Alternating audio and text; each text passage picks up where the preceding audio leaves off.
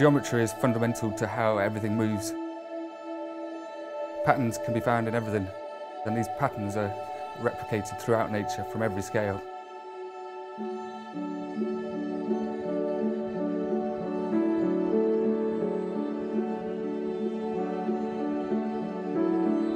Some sculptures will create a pattern in some winds. Occasionally, some sculptures will create a pattern that get bigger and bigger and then reaches a point of chaos.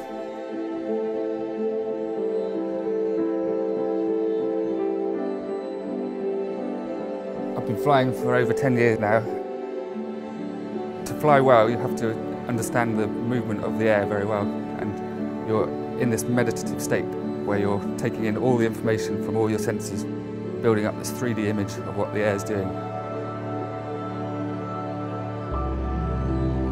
It was a natural progression to move into wind sculptures.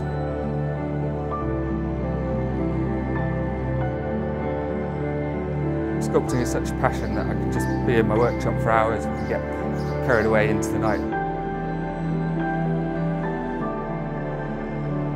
I'll have my mask down and I could just be in my own little bubble and uh, focus on what I'm doing, think about the next stage. I want to see the next thing develop. I want to see, see what's happening next.